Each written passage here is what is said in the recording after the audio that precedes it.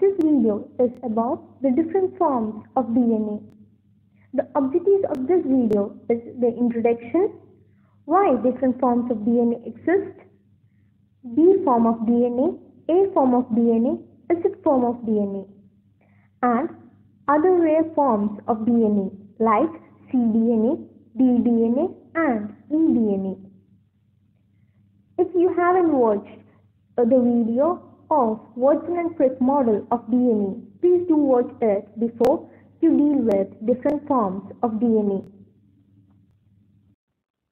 The most commonly known or the classical DNA structure is B form DNA and this is the Watson and Crick B form DNA. This is a right-handed double helical structure. So B form DNA is a right-handed double helical structure and this is the most commonly or the classical DNA structure. Apart from the classical structure, there are different forms of DNA. And these are DNA A, DNA Z, and DNA E. More about these forms of DNA will discuss later on in this video. Now we will discuss why these forms of DNA exist. We know that from a small bacteria to a eukaryote, the DNA is compactly arranged, that it is compactly arranged within a nucleus or a cell. So it is thousand folded to fit within a nucleus. So there is no enough room for a DNA to stretch out in a perfect linear bDNA form. Now we will discuss the most common form of a DNA that is DNA B form and this is proposed by Watson and Crick and hence this DNA is often known as Watson and Crick form of DNA. It is a double helical form and they propose that two strands of DNA each in a right-handed helix are wound around the same axis. So the two strands of DNA are held together by hydrogen bonding between the bases. So Watson and Crick proposed that the two strands of DNA held together by a hydrogen bond, each strand of DNA is a right-handed helix. According to the Watson and Crick model of a DNA, the two strands are antiparallel, and that is, one strand runs from 5' to 3' whereas the other strand runs from 3' to 5'. So these two strands run opposite to each other. And the basis in the double helical model is that a purine can always pair with a pyrimidine. According to the Chargaff's rule, A always pairs with T and G always pairs with C. That is, a keto base pairs with an amino base. That is, we can say that a purine always pairs with a pyrimidine. So, between an A and T bases, there are two hydrogen bonds, and as between a G and C, there are three hydrogen bonds. So, oh, their bases pair in a manner that is a purine always pairs with a pyrimidine that is A with T and G with C. A and T has two hydrogen bonds whereas G and C has three hydrogen bonds within them. A B form of DNA is always complementary base pairs and between base pair it is 34 nanometer and per turn it is 3.4 nanometer. And there are 10 base pairs per turn. So there are 10 base pairs per turn and per turn its measurement is 3.4 and between base pair it is 34 nanometer. And the diameter is 9 nanometer or in an angstrom it is 20 angstrom. This diagram is a classical bDNA and that is It is a right-handed helical structure of a DNA. Its backbone is made up of sugar phosphate and it has bases that is a purine always pairs with a pyrimidine. That is A with T and G with C. A pairs with T with two hydrogen bonds whereas G pairs with C with three hydrogen bonds.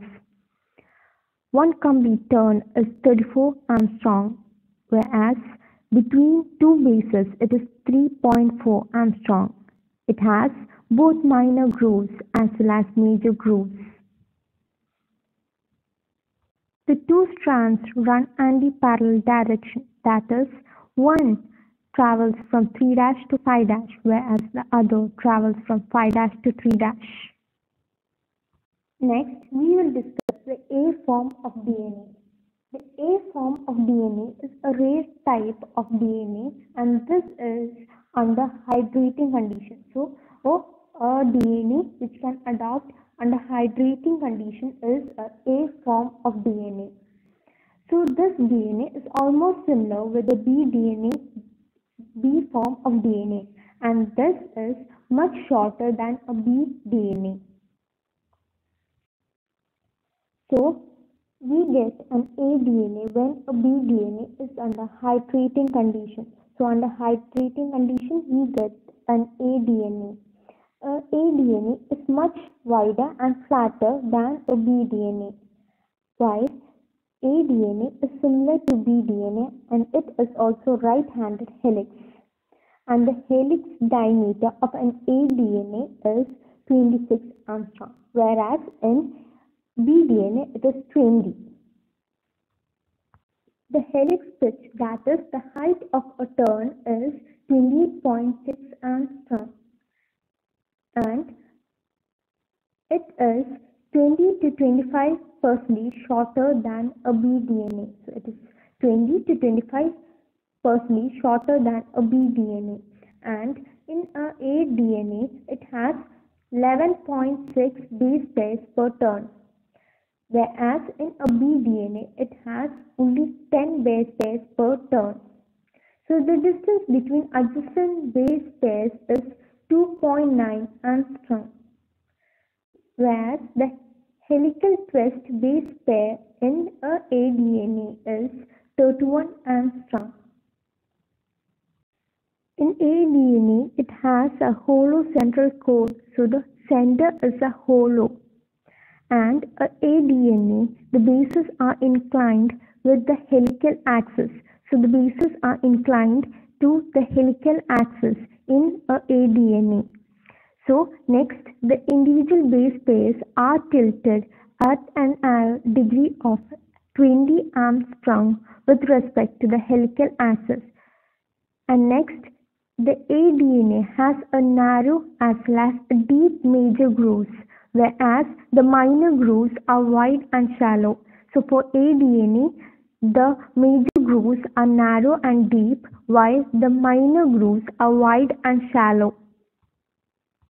The deoxy sugar pucker in a ADNA is C3- endoform and the conformation of the glycosidic bond in a ADNA is antiform. Next, we will discuss about the Z form of DNA and this form of DNA is left-handed helical structure and whereas the B DNA as well as the A DNA is right-handed structures. The DNA is left-handed DNA structure and this is in a zigzag pattern and hence we say it as a Z form. Since it is zigzag pattern and the Z DNA conformation occurs at a high salt concentration. So it is under high salt concentration and it has a zigzag pattern. Hence we call it as Z form of DNA. The helical diameter of an Z DNA is 18 angstrom and the total height is 44 angstrom and the nucleotide pairs in Z DNA occurs as nucleotide dimers and the helical turn contains 12 nucleotides that is in 6 dimers. Since it is in nucleotide dimers, it is 6 dimers and it has total of 12 nucleotides. So the helical turn per base pair is 9 angstrom for a pyrimidine purine step and for a purine pyrimidine step it is 51 angstrom and the distance between each nucleotide is 7.4 angstrom and a major groove is more or less flat. So the major groove is more or less flat and the minor groove is narrow and deep. So the zDNA has a solid core at the center. As discussed earlier, a aDNA has a hollow core at the center, whereas the zDNA has a solid core at the center. And the sugar pucker is C2-endo for a pyrimidine and for a purine it is C 3-endo, and a glycosidic bond conformation is anti for pyrimidines and syn for purines.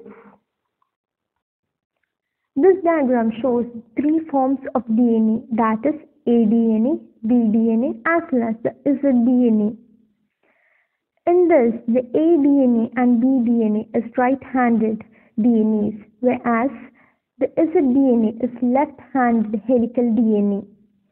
It is in a zigzag pattern and hence is the name zigzag DNA or the zDNA.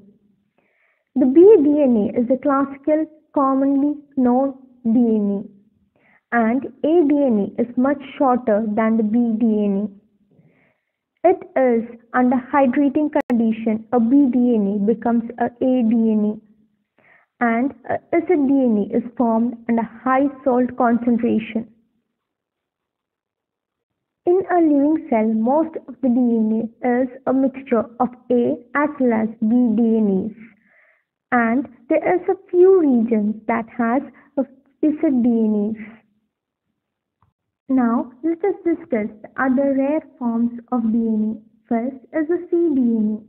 A cDNA is formed under 66% of relative humidity as well as in the presence of lithium and magnesium ions. The cDNA is also right-handed DNA and it has 33 base pairs per turn. The base pair rotation is 38.58 angstrom and the axial rise is of 3.32 angstrom per base pair. The diameter is 19 angstrom and it is much smaller than the A as well as B DNA. The length of the base is 7.8 angstrom. We will discuss another rare form of DNA which is the dDNA and this has 8 base pairs per helical turn. These DNAs are devoid of guanine and the helical rise is 3.03 angstrom per base pair and the length is of 18.7 angstrom. Next, we will discuss about eDNA eDNA is known as extended DNA. It has a long helical axis and the bases are perpendicular to the helical axis. So eDNA is extended DNA. So it, the major grooves are deep while the minor grooves are shallow. And the eDNA, when it is allowed to crystallize for a long period of time, it can form the standard aDNA. So eDNA can form an aDNA when it is crystallized for a long period of time. Now let us summarize the different forms of DNA. aDNA. aDNA is formed when the bDNA is under the hydrating condition.